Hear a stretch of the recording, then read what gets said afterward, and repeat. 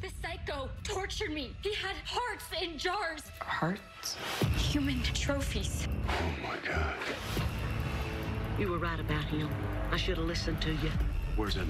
At work? Have you heard from him? Not since this morning. Something's not right. Where is she? Emily!